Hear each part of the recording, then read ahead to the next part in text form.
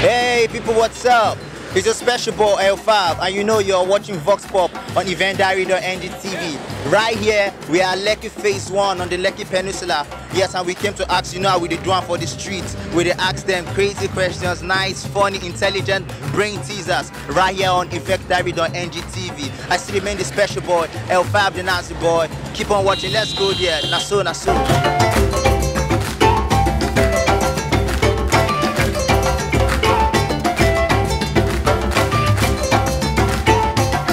Yes, I will vote a youth.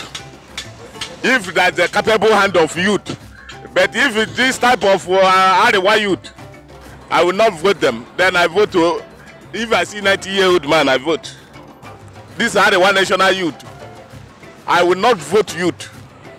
Instead, I vote a 90 year old man. All right. So many persons actually say that the youths have nothing to offer. But I do believe that the youths, there are youths equally that have what it takes to, you know, lead the government forward. Well, I think definitely we need more youths, not just any youth, but youths that actually have knowledge, you know, and have the maturity, despite the fact that they are youths.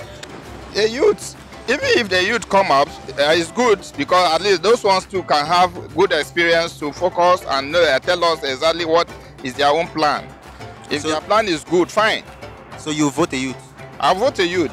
Okay, well well na wetin go stop am i go vote my fellow youth as nigerian president. Yes, if he's qualified, I would.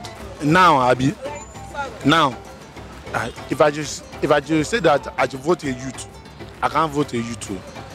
I think it's high time a youth comes forth as the next president of Nigeria. Sure, definitely. I mean, I would support a youth as a president. I mean, way over all of these old people who have taken over. Yeah, I would support a youth. I would vote a youth as the president of Nigeria. if they are willing to come out if they are really willing to come out why not let's give it a chance you know Honestly speaking, I don't think the youths are ready to run this country. Why? I just don't see that happening anytime soon yet. Uh, it would be better if a youth should be a next president of Nigeria. But one problem is that the, the youth themselves are not ready to, to, to support the youth. I fit vote youth to be the next president, but youth for me, not youth that is too young like that. Because youth of nowadays have gone into so many things like bad gangs.